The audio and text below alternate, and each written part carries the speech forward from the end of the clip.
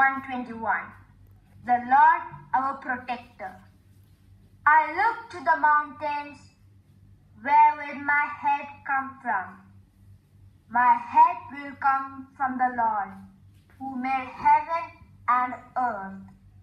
He will not let you fall. Your protector is always awake. The protector of Israel never dozes or sleeps. The Lord will guard you. He is by your side to protect you. The sun will not hurt you during the day, nor the moon during the night. The Lord will protect you from all danger. He will keep you safe. He will protect you as you come and go, now and forever.